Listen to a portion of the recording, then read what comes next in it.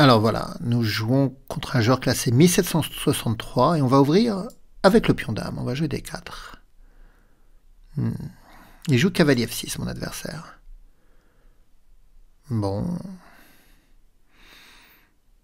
Alors j'hésite. Est-ce qu'on joue à système de Londres? Non, j'en ai joué euh, il n'y a pas longtemps. Hmm. Je vais jouer C4. Donc l'idée de C4, c'est d'impliquer le pion de l'aile au contrôle de la case D5. Comme ça, en cas de D5, on est capable de faire cet échange, ce troc. Mon adversaire joue G6. Alors habituellement, on joue cavalier C3 pour appuyer la poussée E4.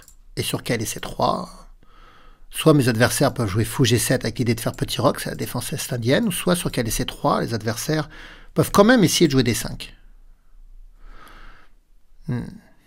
Bon, on va jouer ça. Quel est C3 Donc, je menace le 4. Donc, mon adversaire, il peut jouer des 5, c'est ce qu'on appelle la Grunfeld. Et il va jouer des 5. Donc, habituellement, on prend. Le cavalier reprend. Et là, on peut chercher à jouer E4. À installer le fort centre de pion. Hmm. Bon, on y va. E4. Il va prendre pion reprend pour consolider le centre. Mais c'est pas gratuit tout ça, parce que c'est vrai que j'ai un centre de pion ici, mais dans la grande fête, c'est un peu particulier parce que les noirs, ils peuvent attaquer ce centre avec euh, la poussée C5, qui va attaquer le pion D4 une fois, deux fois, trois fois. Parfois, le cavalier C6 peut se mêler aussi. Et attendre que le et si le pion D euh, prend ou bouge, ça agrandit la diagonale du fou qui va aller taper sur C3 pour attaquer le roi et la tour. Donc ça, euh, c'est un petit peu embêtant. Et si on joue des coups comme f 3 on s'expose par la suite à même à des clouages, vous voyez. Donc f 3 aidera pas à bien protéger des 4. Alors, euh, je crois que le coup principal ici, c'est fou C4, justement pour mettre le cavalier en 2-2. Et comme ça, si mon adversaire fait fou G4, je serai en capacité de jouer F3 pour casser le clouage, garder le cavalier E2 à la protection de D4, mais pas seulement, la protection de C3 aussi. Comme ça, si le pion D4 vient s'en aller, si le fou prend, le cavalier protégera. Mais euh, j'ai envie de le surprendre un peu. Je pense que je vais jouer fou B5 échec. Je sais qu'il peut parer cet échec assez facilement, mais s'il met des pièces en D7, par exemple le cavalier ou le fou, la dame ne pressera plus D4. S'il joue le pion en C6, eh bien, ne sais pas ce que, je ferais d'ailleurs si je joue le pion C6. Peut-être fou à 4 pour garder le pion cloué, ou peut-être autre chose, je vais voir. De toute façon, s'il a envie de jouer C5, je ne lui fais pas gagner un temps en jouant C6, puisque de toute façon, euh, il devra jouer C5.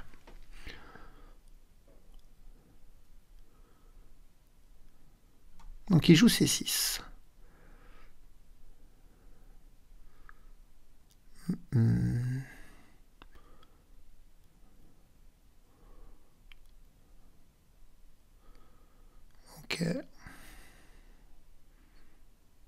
Donc si je recule le fond en C4, il va faire petit roc comme prévu. Si je joue cavalier E2, on va retomber euh, dans la vente principale si je joue C5.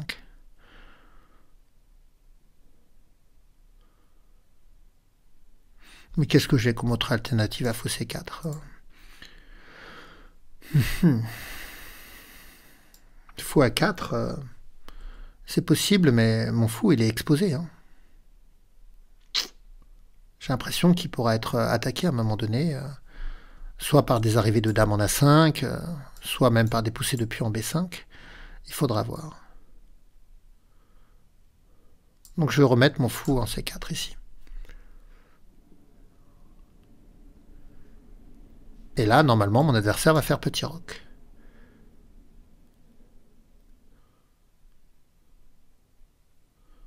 Voilà, il vient de faire petit roc. Hmm. Bon, bien, cavalier 2. Hein. Toujours pareil, c'est sur fou G4 pour être capable de jouer F3. Et de garder le cavalier à la protection du centre. Parce que c'est bien d'avoir un centre, mais il faut être capable de le tenir en fait. Et je sais que cette poussée C5 pose problème. D'ailleurs, si les Noirs n'étaient pas capables d'avoir cette poussée C5, probablement euh, j'aurais euh, pas cette ouverture c'est que là, ils sont en capacité d'impacter le centre à un moment donné.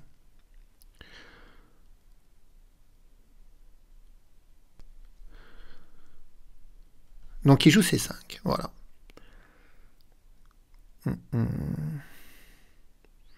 J'aurais tendance à faire petit rock. Bon, on va faire petit rock.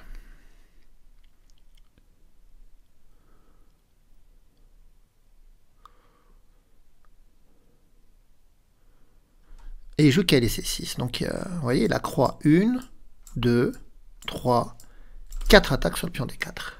Pour 1, 2, 3 défenses. Alors, je peux jouer fou 3 pour défendre. Une nouvelle fois. Hmm. Si je pousse en D5, il ne pourra pas prendre en C3 parce qu'il y a mon cavalier. Maintenant, si je pousse en D5, euh, peut-être il peut aller en A5 ou en E5, attaquer mon fou qui devra reculer. Bon. Je vais jouer fou 3. Je vais essayer de tenir le pion D4.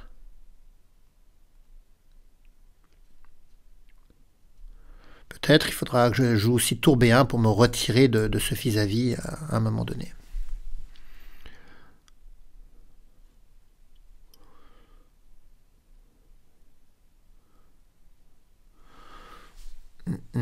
Alors la prise en C5, euh,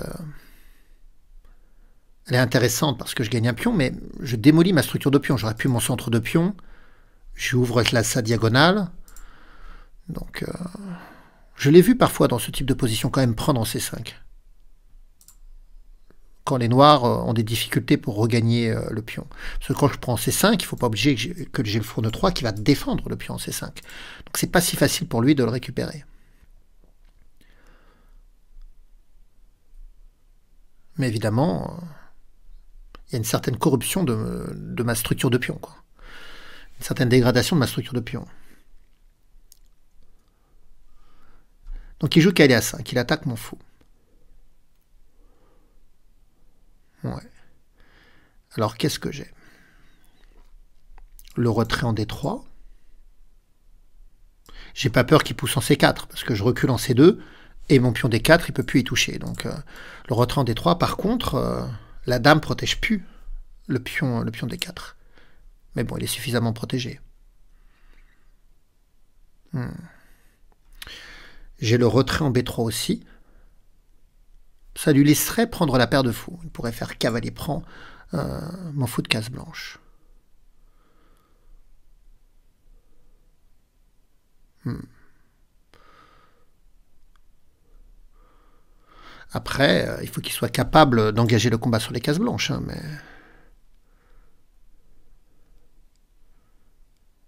Hmm. Je pense que c'est fou des 3 que l'on joue dans cette position. Mais après fou des 3, euh, il peut chercher fou 6 pour essayer de se rendre maître de la case C4. Vous voyez, pour contrôler deux fois la case C4 et se rendre maître. je ne sais pas, fou des 3, si je joue fou 6, est-ce que je suis capable de jouer D5 et de repousser ainsi son fou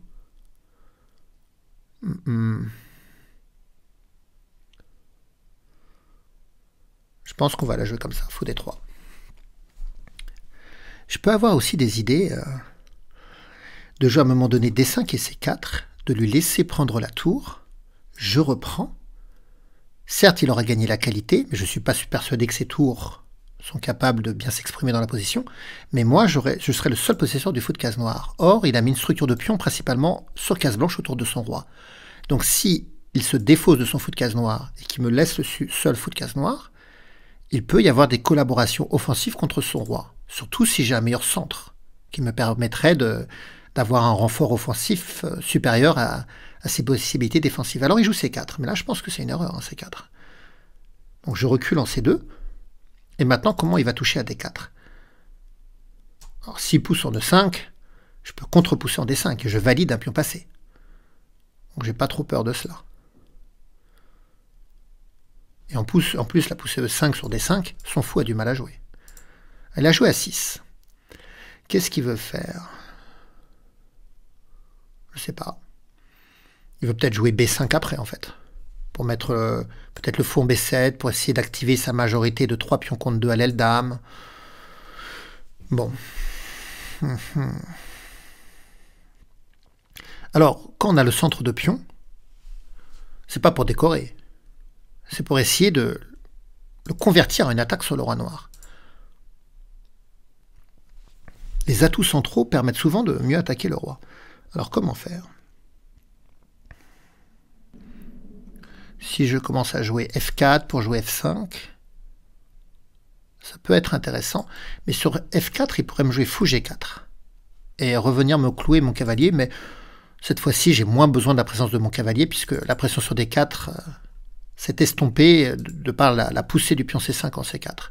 Donc je pourrais jouer F4 et si je joue fou G4, eh bien, je peux peut-être tout simplement mépriser et jouer F5 en fait, hein. comme, comme je voulais.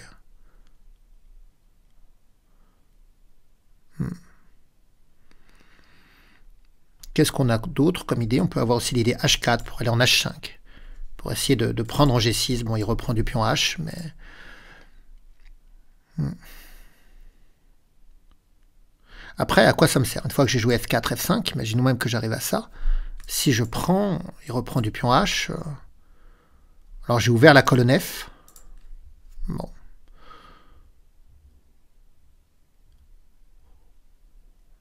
Je peux aller lui retirer son fou aussi avec Dame D2 et fou H6, essayer de lui retirer son fou de case noire. Mais même s'il y a un échange, le fait de fou prend Dame prend, ma Dame toute seule, euh, faudra qu'elle soit aidée parce que je vois pas ce qu'elle pourrait faire toute seule. Donc voilà, je sais pas trop comment euh, lancer une attaque sur son roi. Peut-être lui, peut... Euh, peut-être pousser E5 pour museler, encore son fou et essayer de jouer F4, F5 aussi encore après. Non, je pense que je vais jouer F4. Je préfère ça. Ce trio de pions ici. Vous voyez, je contrôle bien l'espace. Tac, tac, tac, tac, tac. Le cavalier au bord me gêne pas trop. Il faut trouver encore les moyens de, construire l'attaque. Je n'ai pas encore de, suite claire dans ma tête. On va voir, on va s'adapter à ces coups aussi. Hein.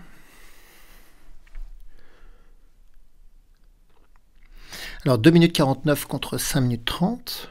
Je suis pas bien au. Mais c'est quand même un joueur qui réfléchit.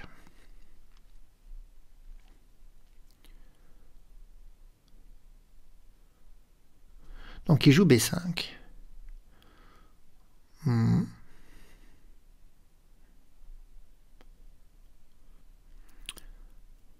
Donc certainement la poussée F5 quand même. S'il prend, je reprends. Je pense qu'il y a une dégradation de, de son rock.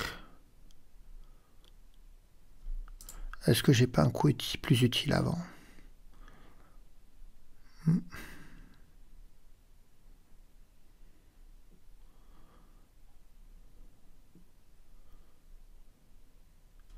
J'ai pas vu, je vais jouer F5.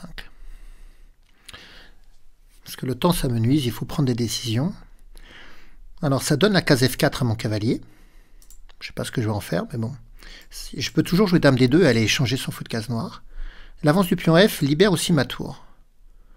Et euh, si j'arrive à jouer Dame D2, fou H6, à échanger son fou de case noire, après je peux avoir des tours F3, tour H3, faire rentrer ma dame en H6 et jouer sur la colonne H contre le pion H7 et créer des menaces de mat.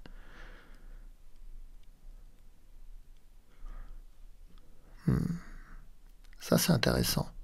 Peut-être Dame D2, Tour F3, ce qui permet d'ailleurs de jouer l'autre tour en F1, de basculer en H3. Et là, je commence à tenir quelque chose. Je vois un circuit offensif. Vous voyez les pièces qui, euh, qui convergent bien vers le roi noir.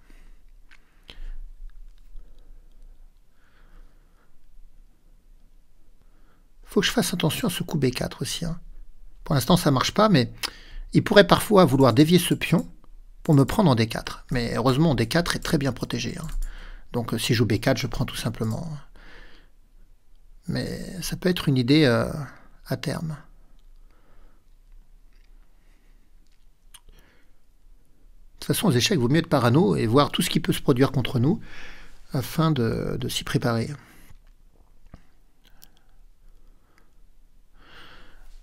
Alors on joue une partie de 10 minutes plus 5 secondes par coup. À chaque coup joué, on a un bonus de 5 secondes. Hein. Il y en a qui se demandent pourquoi parfois à chaque coup joué, euh, mon temps euh, augmente. Ce qui va là pour moi est bien sûr valable pour mon adversaire. C'est pas un privilège que je me suis octroyé à moi seul.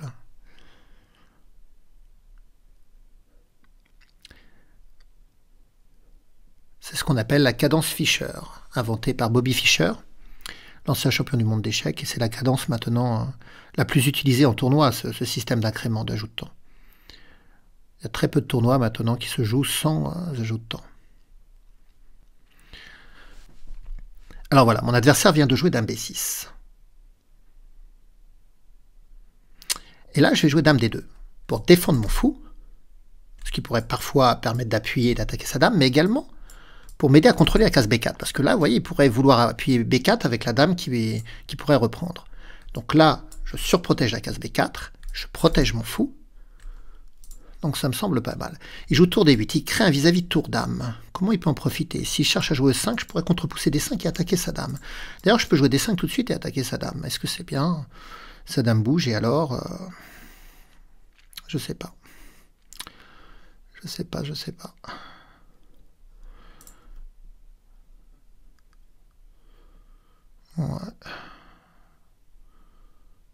Non, moi je vais attendre un peu.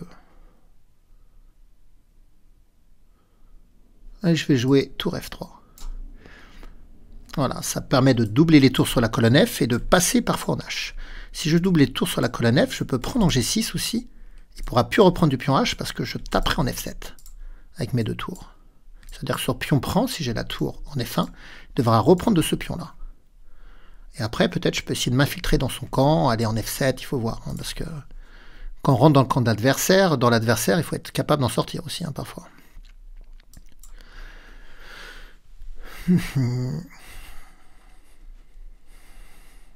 Alors moi, ce qui est dangereux pour moi, c'est ce vis-à-vis tour dame. Il faut que je m'en méfie. Hein.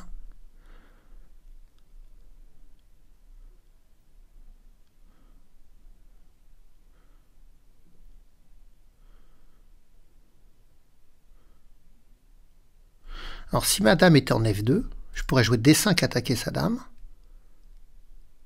Et si sa dame va en, C7, mon fou protégé par ma dame pourrait venir en B6 attaquer sa dame et son cavalier. Ça c'est intéressant. Donc je peux chercher aussi à bouger mon cavalier. Hein. À jouer par exemple cavalier F4 pour jouer dame F2. Mais attention, je contrôlerai moins B4, il pourrait peut-être euh, pousser. Je pourrais vouloir jouer tour B1 pour empêcher ça, mais la tour, j'ai envie qu'elle vienne en F1. Je pourrais vouloir jouer à 3, mais je lui laisse la case B3. Il va rentrer dans mon camp ici, attaquer ma, dame par est B3. J'ai pas envie de faire fou prend.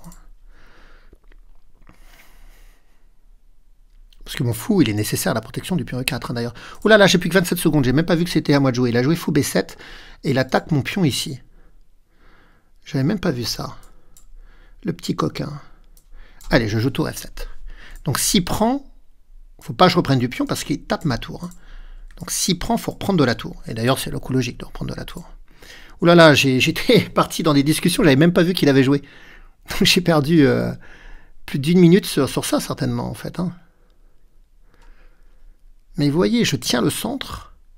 Tant que je tiens le centre, j'ai plus d'espace que, lui pour amener mes pièces. Oh, pardon. J'ai plus d'espace que lui pour amener mes pièces vers son roi. D'ailleurs, vous regardez le flanc droit de l'échiquier, c'est dépeuplé chez lui. À part le fou G7, il n'y a personne. Hein. Et moi, toutes mes pièces convergent vers son roi, en fait.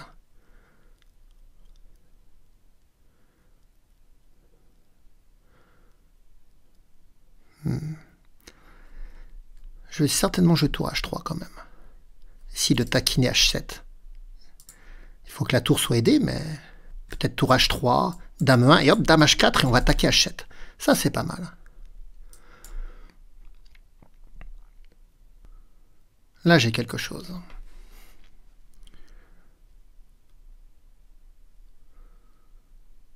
Une partie intéressante, hein. c'est tendu quand même. Alors la bonne nouvelle pour moi, c'est que mon adversaire euh, est en train de descendre euh, sous la barre euh, des une minute. comme ça, j'ai pas beaucoup de temps, mais lui non plus. Je peux faire des gaffes, mais lui aussi.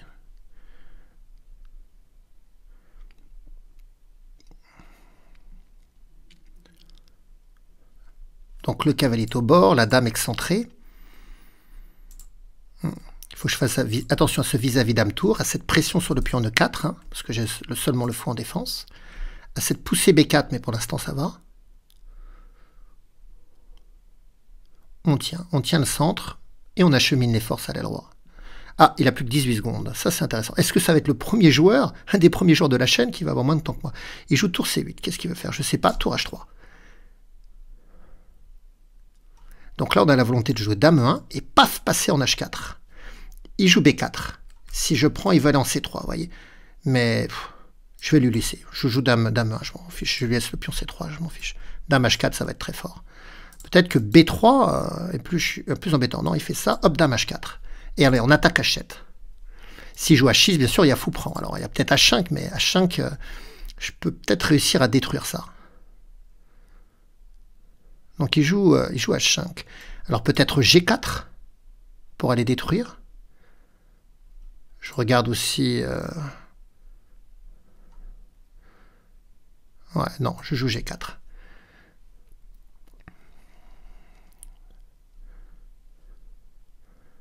Donc il fait fou prend. Je vais prendre du cavalier. Si ça prend de la tour, sa tour est clouée. Hein.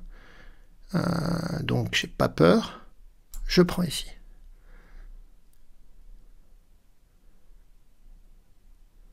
Il y avait un là, je prends. Là j'ai ouvert la colonne H. Hmm.